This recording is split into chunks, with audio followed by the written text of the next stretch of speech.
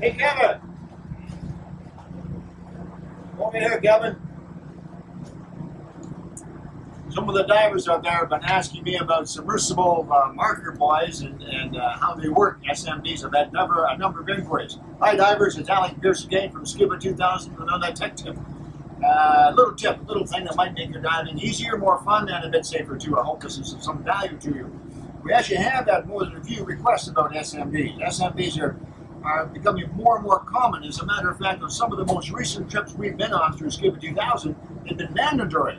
There's an example right here, the Solitude 1 in Palau. Yep, that's where I am. I'm talking to you from Palau.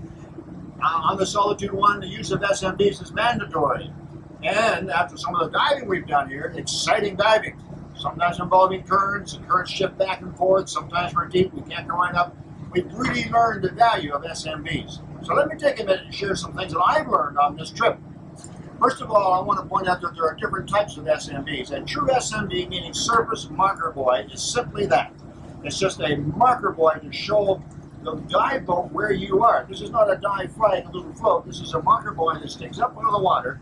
So if you're some distance from the dive boat when you surface, the dive boat can see the marker buoy, see where you are, and come over and pick you up.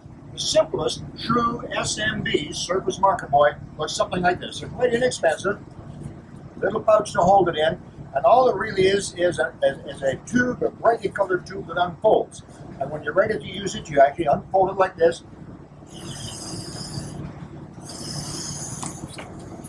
Two little quick breaths, and you now have a four foot tube that sticks up out of the water.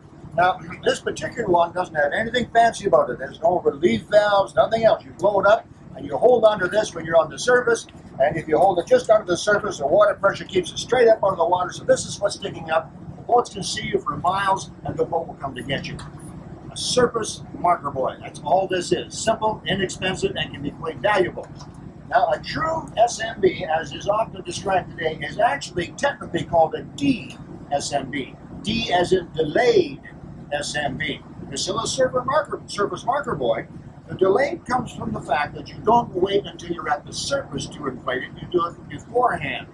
Maybe as, as you're quite deep, it could be as deep as 30, 40, or 50 feet. You might wait, as many divers do, until they're at their safety stop, 15 feet. Then they deploy the DSMB.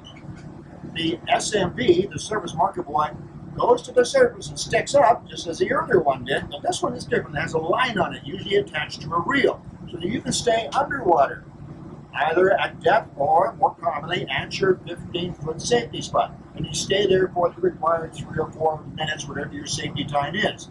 The boat can see where you are, and the boat can start boating over to your surface marker buoy, and they can wait for you to then surface. So you see the slight difference. An SMB as opposed to a delayed or DSMB. The way to tell them apart is simple. A DSMB has to have a line on it. If it doesn't have a line on it, then it's just a surface marker buoy. We'd all call SMBs, quite frankly. I'm just giving you some technical information here. Now, I have here also a couple of examples of DSMBs. We're just going to call them SMBs. So a DSMB is very similar in many ways. A DSMB is also a very brightly lit tube. This one is bright yellow. You see it's long. It says diver below on it. This one's about six feet long.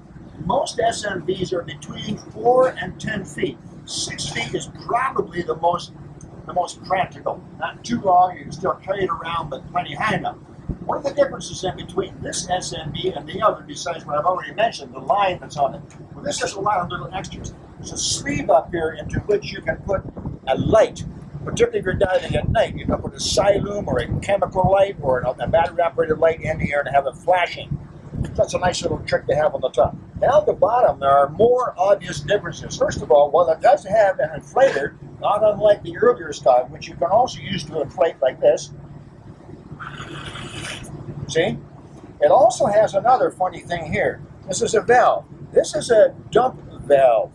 The earlier SMB did not have a dump valve because you're not underwater with it. You come to the surface, you inflate it, the amount of air in that SMB doesn't change. With these SMBs, you inflate them underwater, 30, 40, 50 feet down, and then you let them go to the surface. As that happens, the air expands, so there has to be some way to dump air out of it, and that's what this valve is for.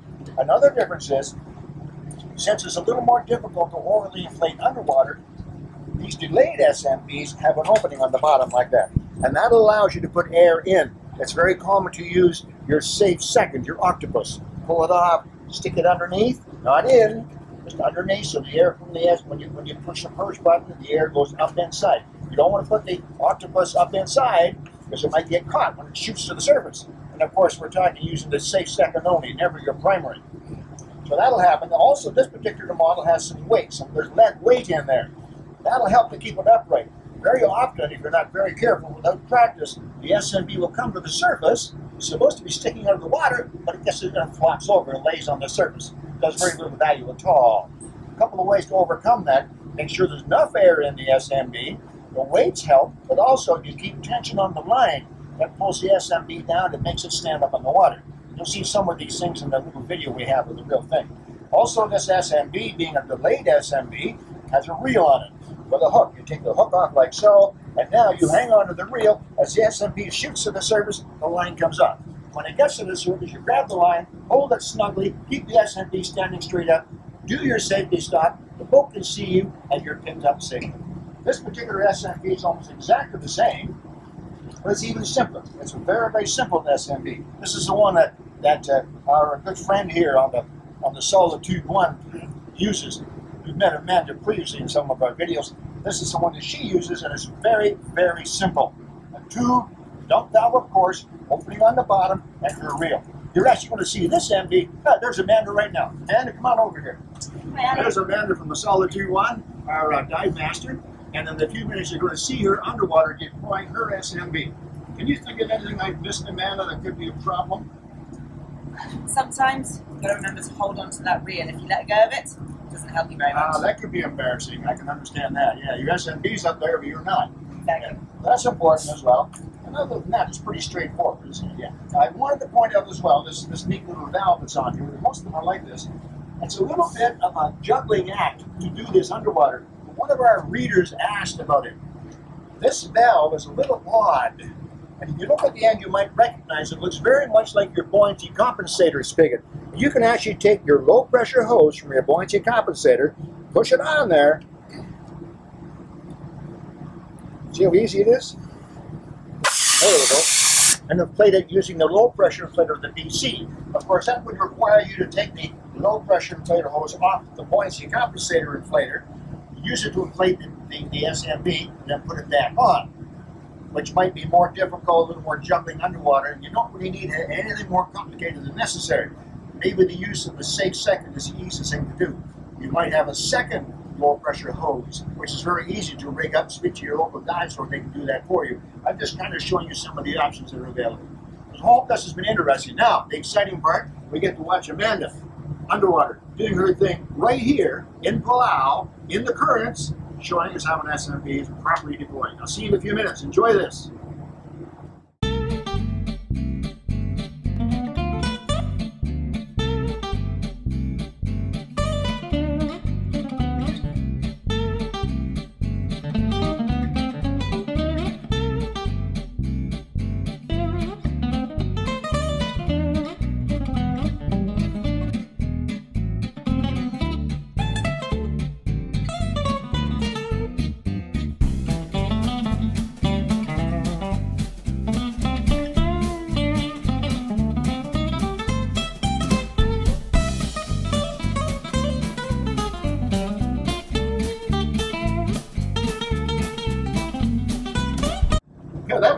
That was fun. Brilliant dive. Boy, it only took three tries to get it right, too. No, I'm kidding. Amanda's an expert at this, and she deploys that. So she does it like six times a day, and it's worked really, really well. That was from about 40 feet as well. I noticed you set it up well down, and then you reel the line in as you come up with the safety stop with the divers. Yeah, that was pretty neat. I really enjoyed that. Thanks so much. no problem. Okay, divers, thank you very much for watching. I hope this has helped a little bit.